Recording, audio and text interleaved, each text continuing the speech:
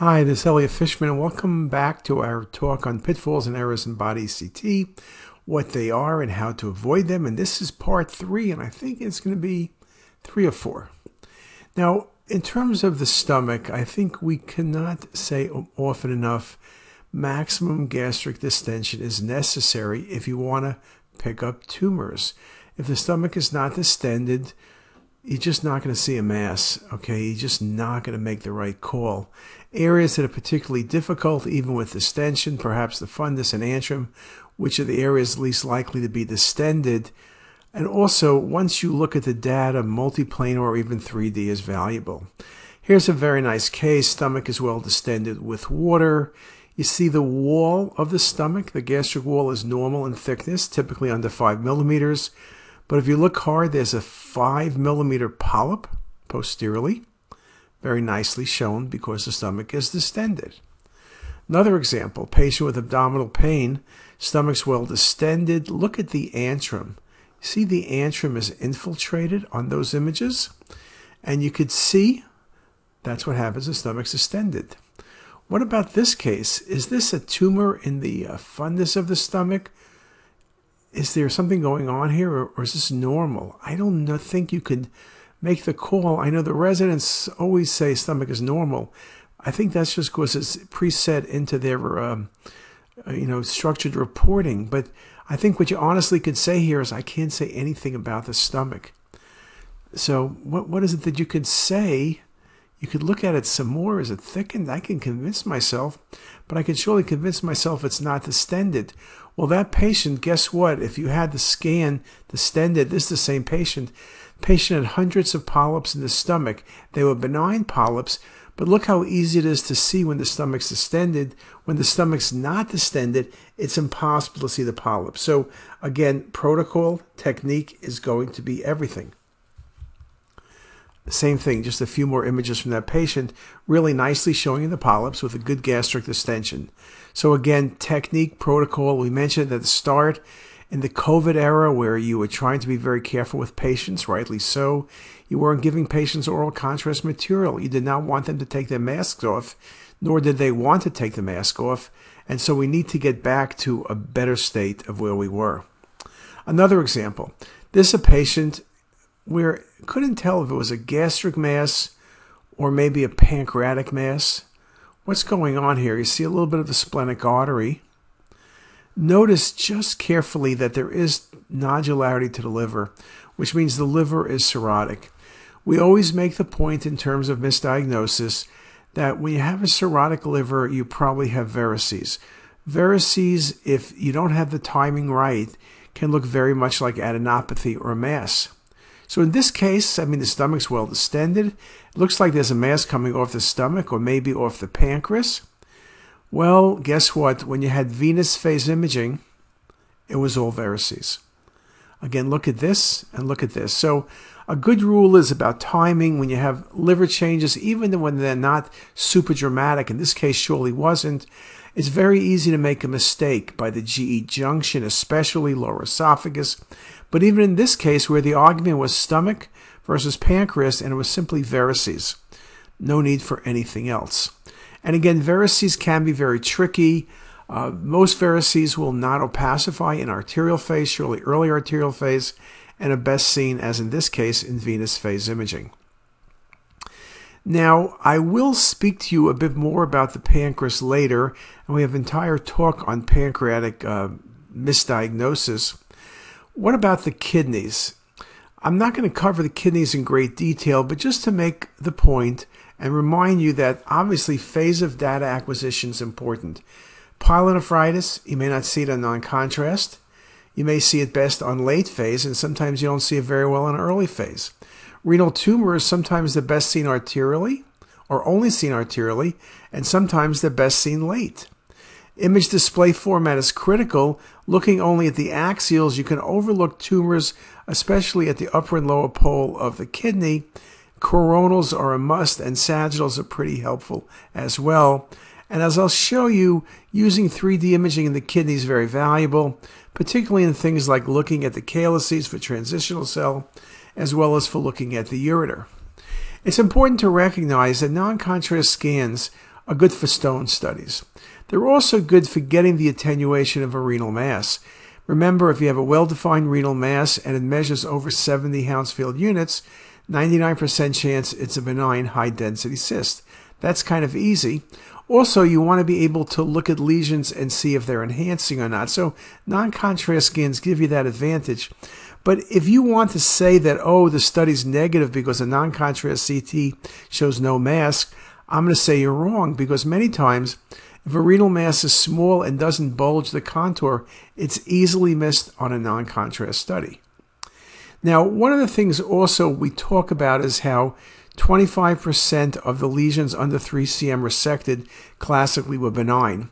There's a number of reasons for that, but here's a good example. This looks like a solid mass in the left kidney, not very vascular, probably a papillary renal cell. Okay, maybe faint calcifications. Looks bad. Here it is on delayed phase, same worry, solid mass. Here it is on another example, high density, in the lesion. So what am I showing you here? I'm showing you the fact that you can really be confused by a lesion that's high density when you only have contrast studies.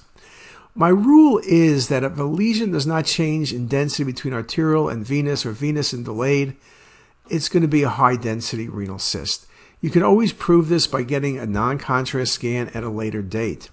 But this is a good example of a lesion that would have been resected, both on the early and late phase imaging. It looks worrisome. It's solid, but the density is the same in both phases. It's simply a well-defined high-density renal cyst. We got a non-contrast scan to make everybody happy, and it proved it.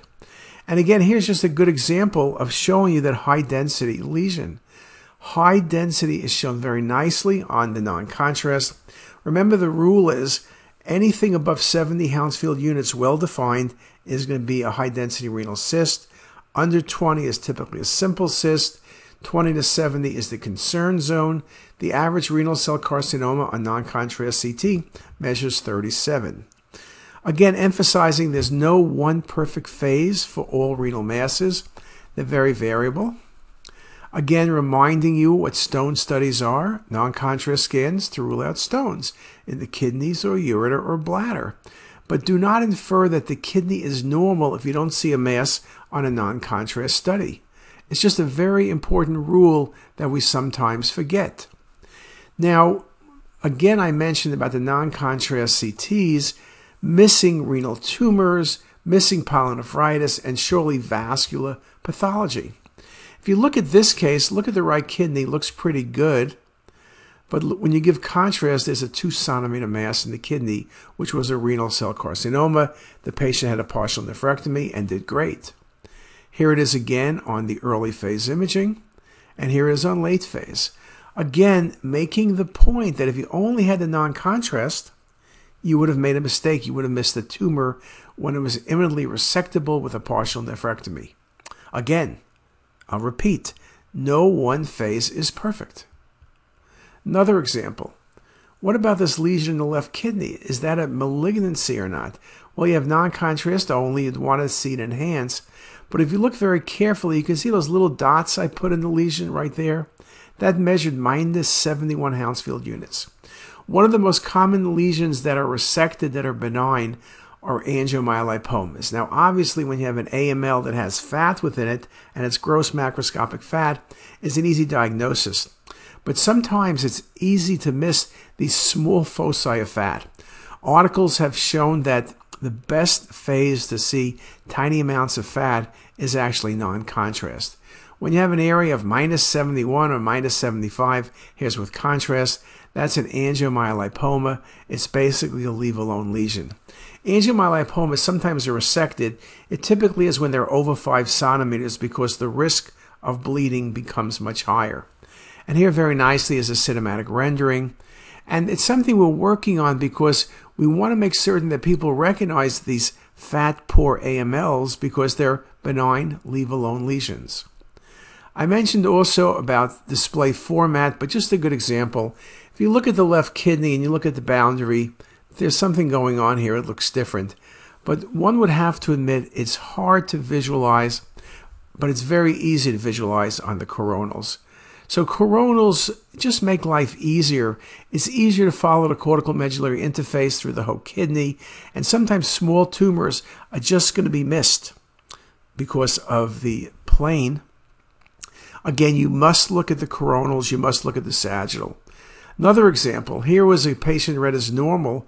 This was felt to be the upper pole of the kidney, and perhaps it is, but when you scan coronally, it's the upper polarite, but it's an upper pole carcinoma.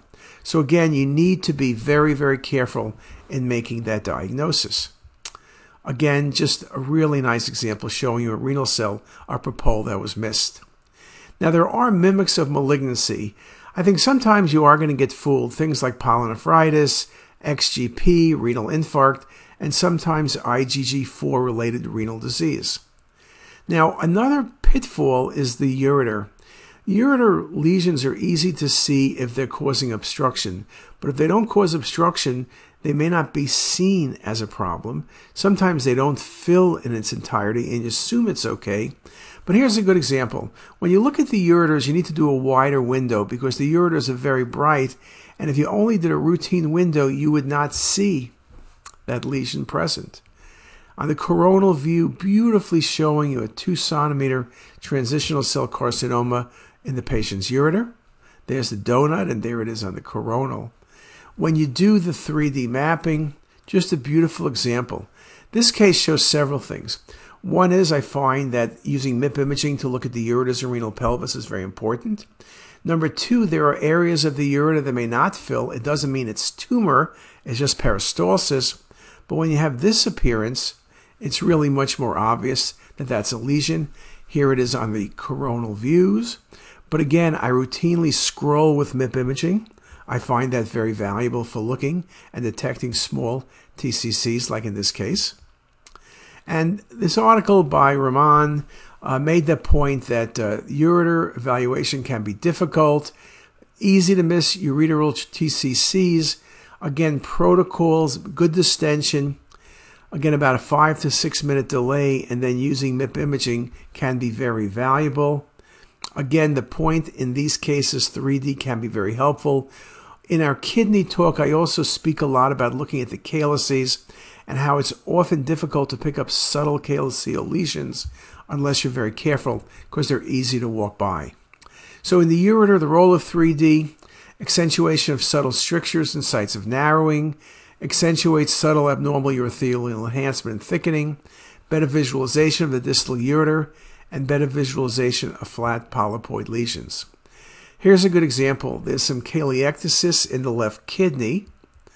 And then when you give contrast, the left kidney does not enhance as well as the right. There's also some irregularity in the borders of the kidney. As you go to excretory phase imaging, you see the calyces are dilated, but then you look right here, you see the proximal pelvis is thickened.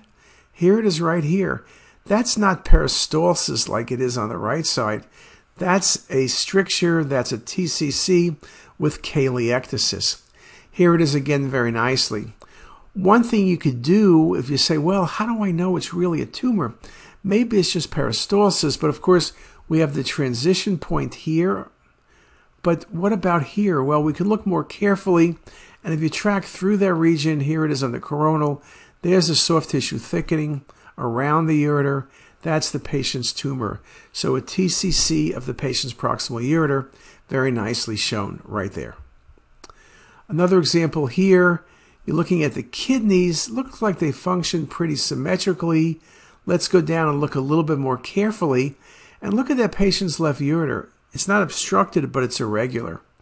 Now you can come up with all sorts of things like radiation change, fibrosis, inflammation, but that irregularity is classic for TCC, which this was. But again, you have a TCC which is obvious on the MIP, but there's no proximal obstruction. People always expect to see proximal obstruction when there's a ureteral tumor present. The answer is that's not necessarily the case. You can have a reasonable sized tumor, but if it grows to the periphery, you're not going to have any obstruction present. But look how obvious this TCC is and this was read as normal on the axial images. Another example, you see the ureters are dilated just a bit. Then you follow the ureters down and look at this crescent right here. Looks like you're missing part of the donut. And there it is, that nice donut. That's a filling defect in the ureter. Yes, it could be a non-opaque stone. Yes, it could be a blood clot. But in this case, it's a tumor, which you can see very nicely on the coronal views. So a little bit over one centimeter TCC, very nicely shown. Again, a reasonable sized mass, but there's no left hydronephrosis. Again, you're waiting for hydro, you're going to have a problem. You would not see the lesion. Here it is very nicely on the MIP again. You can see the uh, calyces, the defect, the dilated left ureter. So again, very important. Now let's go through some of the last things. We finished the kidney now. We spoke about the stomach. We spoke about the pancreas a bit. We spoke about the adrenals. What about mesenteric vessels? This is an area where mistakes do happen. But let's do this. I think I've used up my time. Let's come back in a few minutes and start again, and we'll do part four and call it a day. Thanks very much. If you like this video, make sure to subscribe to the CTisus YouTube channel. You can also visit us at ctisus.com for even more videos, plus quizzes, pearls, protocols, and oh so much more. We're also in the App Store and have well over a dozen apps for iPhone and iPad, all completely free. Thanks for watching.